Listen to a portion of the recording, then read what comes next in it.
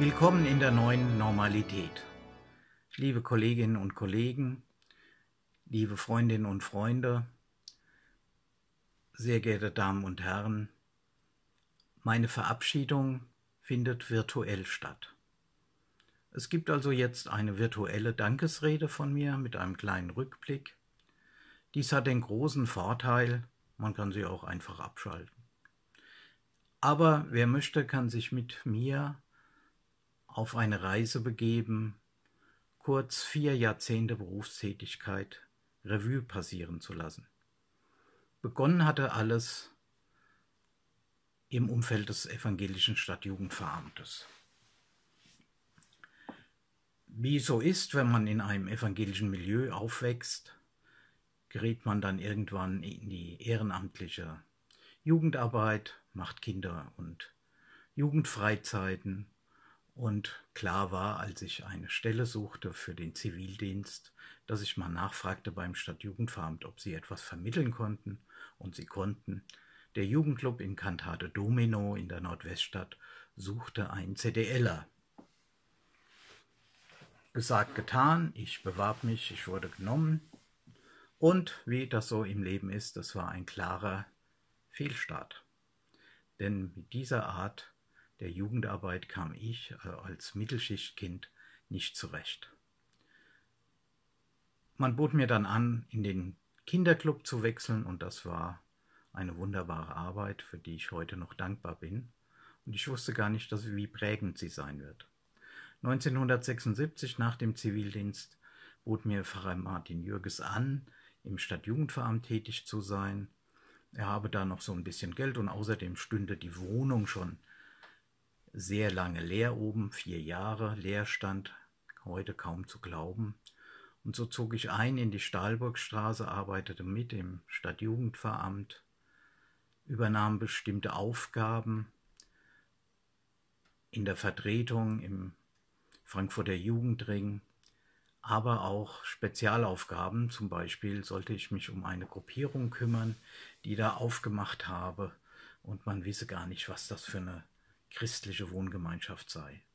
Es stellt sich heraus, es war eine Dependance der Kinder Gottes, die dort wie auf der ganzen Welt Flirty Fishing und ähnliches betrieben, eine dieser sogenannten neuen Jugendreligionen, wie es damals am Ende der 70er Jahre hieß. Ich absolvierte mein Studium nebenbei und suchte dann eine Stelle. Im Studium hatte ich gelernt, dass solche Stellen für Diplompädagogen oftmals nicht nach Kompetenz besetzt werden, sondern nach Stallgeruch. Und tatsächlich, so war es auch in der evangelischen Kirche.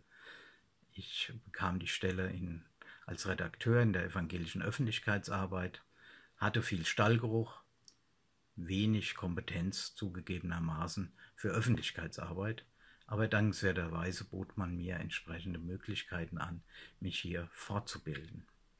Das Thema Sekten und Weltanschauung verfolgte mich aber weiter und die öffentliche Diskussion forderte immer mehr auch ein, dass hier Beratungen und Beratungsstellen eingerichtet wurden und gerade Frankfurt äh, mit seinen zahlreichen Dependancen von solchen Gruppierungen, die wichtigste Scientology, die leider heute noch hier tätig ist, äh, forderte das und der Evangelische Regionalverband richtete die Stelle ein, in der Arbeit als Arbeitsstelle für Weltanschauungsfragen, deren Leitung ich übernahm.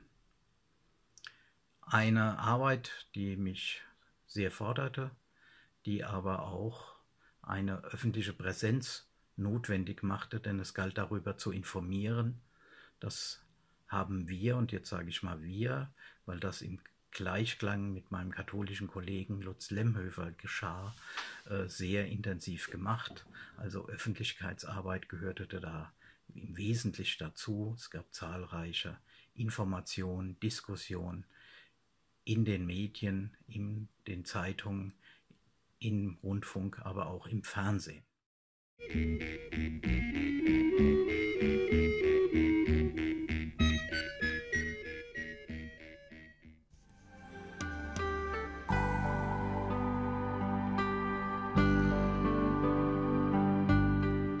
Esoterik, die Lehre vom Verborgenen und Okkulten.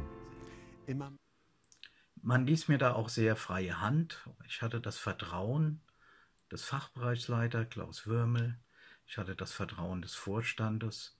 Man konnte da einfach äh, zur nächsten Fernsehdiskussion fahren, denn das geschieht ja sehr kurzfristig. Die Sekte braucht ihren Einfluss auf die Kinder nicht mit der Außenwelt zu teilen. Experten befürchten seelische Schäden für die zweite Generation im Psychokult man weiß einfach nicht, wie geht man mit Streit um, wie geht man mit unterschiedlichen Meinungen um, wie sind die Spielregeln der Demokratie, wie sind die Spielregeln in einer Industrie beispielsweise. Dies alles lernen die Kinder nicht kennen. Bei mir jetzt der Sektenexperte Kurt Helmut Almuth. Guten Abend. Von den Jüngern klingt das ja alles sehr freiwillig und sehr schön. Vielleicht können Sie uns ein bisschen erklären, wer Santaka Singh eigentlich ist und welche Sekte dahinter steht. Taga Singh ist ein Guru, der eben seine eigene Gruppe hat. Hier tritt diese Vereinigung immer unter dem Namen Holosophische Gesellschaft auf. Ein Experte der Kirche zu den Gefahren. Scientology will den Menschen zu einer Art Übermensch machen und hier werden natürlich dann auch Kinder und Jugendliche äh, in das Gefühl hineingesetzt, sie hätten quasi übermenschliche Kräfte. In dieser Arbeit entstanden zahlreiche Publikationen von mir. Äh, einmal bei Herder, dann gab ich gemeinsam mit Lutz Lemhöfer die Schriften heraus im Gemeinschaftswerk der evangelischen Publizistik. Und wir hatten auch noch eine sehr schöne Aktion, an die ich gerne zurückdenke, nämlich ein Stellensponsoring. Claudia Allmann, die bei mir Spezialvikariat gemacht hatte, suchte eine weitere Beschäftigung, denn nicht, damals konnten nicht alle Fachstellen besetzt werden. Und so überlegten wir, ob es nicht möglich wäre, dass sie weiterhin in der Arbeitsstelle Weltanschauungsfragen arbeiten könne. Wir suchten Personen, die dieses unterstützen, denn sie brauchte ja auch ein Gehalt. Bürgermeister Moog, damals auch Vorsitzender der Regionalversammlung, unterstützte dieses und so konnten wir immerhin anderthalb Jahre Claudia Allmann als Beraterin in der Arbeitsstelle Weltanschauungsfragen finanzieren und zahlreiche Menschen, auch aus ihrer alten Gemeinde, beteiligten sich daran.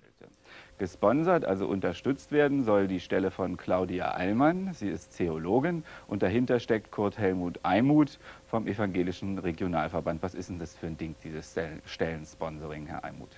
Nun, wir haben uns gedacht, dass wir eine junge Theologin durchaus noch gerne weitere zwei Jahre beschäftigen würden. Frau Allmann arbeitet seit sechs Monaten in unserer Sektenberatungsstelle, in der Evangelischen Arbeitsstelle für Weltanschauungsfragen. Nach der Weltanschauungsarbeit ging es in die Öffentlichkeitsarbeit, in die Leitung der Öffentlichkeitsarbeit des Evangelischen Regionalverbandes. Diese Stelle war vakant und offenbar überzeugte meine Form der Öffentlichkeitsarbeit und so, dass mir angeboten wurde, hier die Leitung zu übernehmen, was ich gerne gemacht habe. Auch hier hatten wir wieder einen tollen Push. Wir entwickelten vieles, vor allen Dingen auch zusammen mit dem wieder katholischen Kollegen Ulrich Fischer. Wir saßen zusammen, haben überlegt, wie können wir die Kirchen präsenter in dieser Stadt machen, wie können wir sie teilhaben lassen am öffentlichen Leben, unter anderem dadurch, dass wir an äh, Festen der Stadtgesellschaft teilnehmen. Und so haben wir entwickelt, dass es doch gut wäre, beim Museumsufer präsent zu sein, und zwar nicht nur mit einem Stand, sondern wir haben eine Veranstaltung kreiert, die Museums, also die Orgelmeile beim Museumsuferfest und das war ein so überwältigender Erfolg, dass wir gleich im zweiten Jahr noch die Chormeile hinzugesetzt haben. Es freut mich, dass das heute immer noch äh, läuft und immer noch Zuspruch hat. Und das ist ja auch toll, zahlreiche verschiedene Orgeln und Kirchen an diesem Tag hier kennenzulernen. Neben den Publikationen konnte ich auch Filme machen, äh, auch über den Sektenbereich, aber wir haben dann auch probiert, in der Öffentlichkeitsarbeit äh, mit Roberto Capelluti zum Beispiel äh, den evangelischen Regionalverband darzustellen.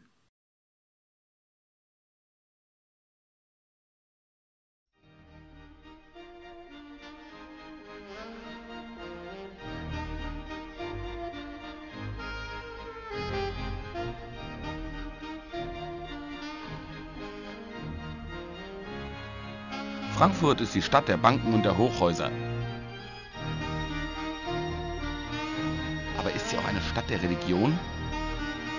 Die Kirchtürme werden längst von den Wolkenkratzern überragt, aber wenn man ganz genau hinsieht, dann findet man Anspielungen auf christliche Symbole an ganz überraschenden Orten. 2001 kam dann der Ruf, ob ich die Leitung der Ausbildungsstelle für Sozialpädagogik übernehmen will, also die Erzieherinnenausbildung. Dieser Herausforderung stellte ich mich gerne, denn das war wieder eine Rückkehr zu den pädagogischen Wurzeln. Das lag mir sehr am Herzen. Und äh, es, ich traf auf ein Kollegium, das bereit war, mit mir diese Schule weiterzuentwickeln. Erstaunlicherweise waren dann irgendwann die Finanzen knapp. Es gab unterschiedliche Meinungen, wie diese Schule weitergeführt werden konnte und, und das führte ja schließlich dann auch zur Schließung der Schule. In dieser Zeit entstand auch das zweibändige Kompendium zur Erzieherinnenausbildung. Als Mitherausgeber und Autor freut es mich, dass es in den Fachschulen inzwischen zum Standardwerk wurde. Im nächsten Jahr erscheint die vierte überarbeitete Auflage. Ich selbst war froh, dass ich wieder zurückkehren konnte in den evangelischen Regionalverband, diesmal in den Fachbereich 2 bei Michael Frase und bekam hier die Leitung angeboten des Arbeitsbereichs Kindertagesstätten, den ich gemeinsam zunächst mit Frau Lindemann leitete. Vielen Dank, Gerlinde, für diese wirklich kollegiale Art, mich hier aufzunehmen. Diese Arbeit war geprägt in den letzten Jahren von dem enormen Ausbau. Und Bau ist das Stichwort. Wir konnten zahlreiche Kitas bauen, wir konnten zahlreiche gemeindliche Kitas sanieren. Dies konnte nur gelingen, wiederum gemeinsam, nämlich gemeinsam mit den Kolleginnen und Kollegen der Bauabteilung, insbesondere auch mit Thomas Vogtländer. Wir konnten hier ein Projektteam bilden, das abteilungsübergreifend arbeitete. Und nur so können solche Projekte entwickelt werden und gut zum Ziel geführt werden. Das war eine tolle Erfahrung, dass hier Architekten und Pädagogen Hand in Hand miteinander arbeiten. Die evangelische Kirche, die Diakonie unterstützt die Stadt Frankfurt sehr gerne und aus innerer Überzeugung bei, der, bei dem Programm der Bereitstellung von Krabbelplätzen in Frankfurt, weil wir glauben, es tut den Kindern gut, wenn sie einem, an einem guten Ort mit einer guten pädagogischen Betreuung früh auch mit anderen Kindern zusammen aufwachsen können. Und es tut den Familien gut und ganz besonders tut es den Müttern gut. Aber natürlich haben wir nicht nur in Steine investiert, sondern auch in Inhalte. Es gelang eine Fortbildungsabteilung aufzubauen. Äh, und zahlreiche Veranstaltungen dort auch durchzuführen. Insbesondere die Fachtage waren immer ein besonderes Highlight. Ich denke auch an den Fachtag mit Frau Tadosch, äh, den wir hatten in einer vollbesetzten Heiliggeistkirche. Erzieherinnen haben ja einen schweren Beruf. Was sagen Sie denen? Für Erzieherinnen ist es natürlich besonders herausfordernd in einer Zeit, wo es sehr viele Religionen, Meinungen gibt, wo Menschen äh, sich überlegen, ist das mit Gott eigentlich richtig und nicht richtig. Da gibt es viele Diskussionen und da fängt man am besten mal beim Punkt Null an, indem ich sehe, das Kind ist da und ich bin da. Du bist du, ich bin ich. Wir beginnen in dieser Beziehung zu wachsen. Ich glaube, das ist ein guter Anfang. Daneben war immer die Arbeit wichtig im evangelischen Frankfurt die Redaktionskonferenzen sind von einer besonderen Streitkultur geprägt, äh, die sehr um die Sache ringt, aber niemals um die Person. Dafür bin ich dankbar, dass an dieser Stelle ein solcher Austausch gelingt, ein Ringen um die Sache, ohne persönlich verletzend zu sein. Daneben gab es natürlich auch zahlreiche Gremien, in denen ich mitarbeitete. Ein Gremium ist mir seit 2010 ans Herz gewachsen. Ich gehöre dem Vorstand des Instituts für Medienpädagogik und Kommunikation an.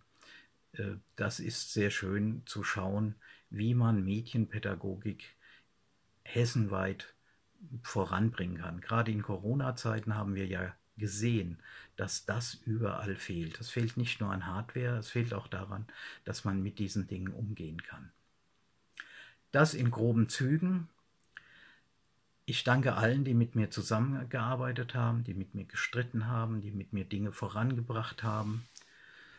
Es waren erfüllte Jahre. Ich bin jeden Tag gerne zur Arbeit gekommen und ein besseres Kompliment kann man eigentlich auch einem Arbeitgeber nicht machen.